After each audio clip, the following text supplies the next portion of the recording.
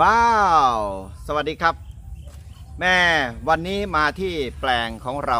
อีกทีหนึ่งนะครับ หลายท่านก็บอกว่า เออ ดูแล้วก็เพลินๆดีนะครับ ได้เห็น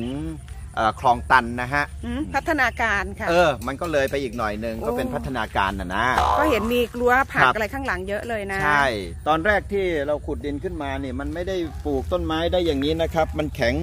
เป้งเป้งเป้งเป้งเพราะว่ามันเป็นดินเหนียวเอาจอบสุดเข้าไปแล้วเป้งกระเด็นปังปังนี่นะฮะอืมคือตอนเนี้ยเห็นแล้วต้นไม้มันเริ่มเขียว ตอนแรกนึกว่าจะตายแหล่ไม่ตายแหล่เพราะว่าอืมขุดเสร็จแล้วปลูกเลย อยากเห็นภาพอะ เอออ่าอ่าไปดูไปดู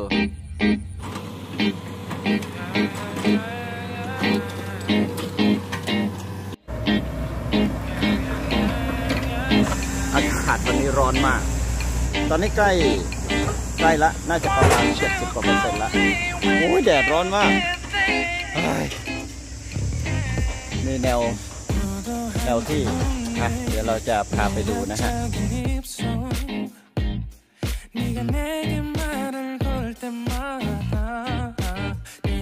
อันนี้ก็จะมีคลองแยกคลองซอย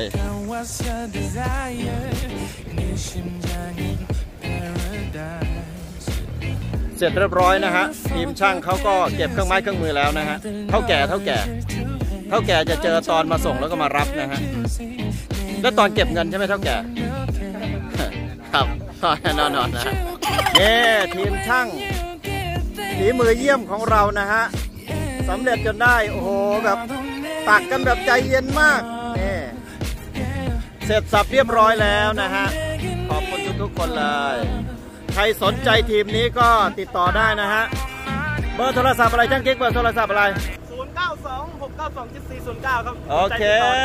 สนใจติดต่อได้เลยนะฮะ พาชมแปลงหลังจากที่ขุดเสร็จสับเรียบร้อย ฝีมือใช้ได้เลยนะฮะทีมช่างของเรา จากสระก็เป็นสถานที่สำหรับการตั้งบ้าน อ่านี่คนคุมงานจนสำเร็จนะฮะพี่ตุ๊กครับ อะไรอะพี่ตุ๊ก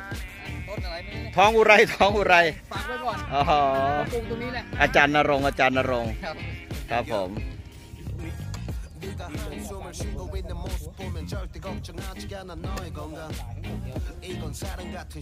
เราก็เตรียมเรือไว้แล้วนะ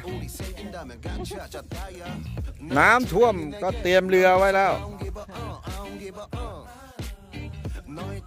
อันนี้มะพร้าวน้ำหอม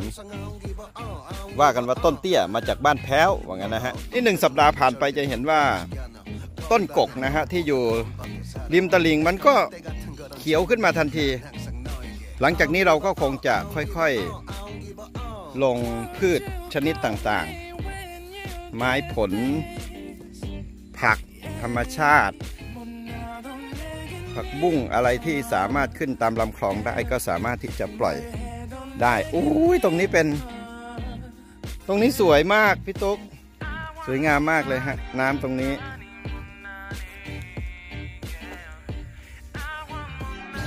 เอาพี่โจ้ยไปทำอะไรครับ เดี๋ยวไปเป็นเกษตรกรนี่ไงนี่ถุงไม้ถุงมือจอบ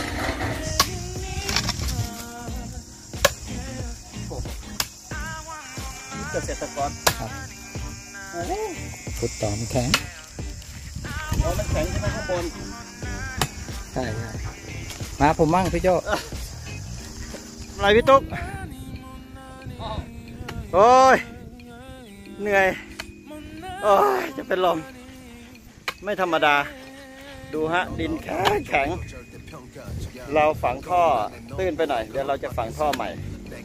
แต่แมคโคร หมดภารกิจแล้วเลยต้องอาศัยมือ หัวท่ออยู่ตรงนี้นะฮะสองคืนน่าจะเต็มอะแบกแบกแบกจอบขับแล้วครับ เกษตรกรไม่ไหวแล้วเอาไว้ จ้างเขาทำดีกว่า โอ้เวรกรรมจริง โอ้ยเป็นเกษตรกรนี่มันไม่ใช่ง่ายจริง ๆนะครับ เอาแค่ไปขุดสักหน่อยหนึ่งเนี่ยเราก็รู้สึกว่าสะเทือนไปทั้งร่างกายอื้อหือเพราะฉะนั้นเกษตรกรที่เขาหลังสู้ฟ้าหน้าสู้ดินชาวไร่ชาวนาเนี่ยนะครับเขาต้องมีความอดทนแล้วก็รักในอาชีพเขาจริง ๆ นะ เข้าใจเลยอะเข้าใจเลย เรานี่โอ้โหยนะแต่เราก็อยากนะอืมมันมีความสุขชนิดหนึ่งค่ะเหงื่อได้ไหล อะ เป็นความสุข เดี๋ยวครั้งหน้าจะพาไปดูบ้านหลังนี้นะกว่าครับ จะมาเป็นบ้านหลังนี้ คิดอยู่นานเหมือนกันใช่ไหมว่าจะปลูกแบบไหนทำไปคิดไปทำไปคิดไปว่าเอ๊ะหเรารือชอบ ทำแบบไม่ได้คิด เออคิดสิคิดคิดคิด แต่ว่าคิดเราชอบแบบไหนนะฮะอืมจริงๆ ไม่ได้ตั้งใจเป็นบ้านให้มันเป็นกระท่อม ก็กดสับตะไคร้เอ้ย Subscribe สับตะไคร้นะครับ บ้านอาแสวง YouTube นะฮะบ้านอาแสวง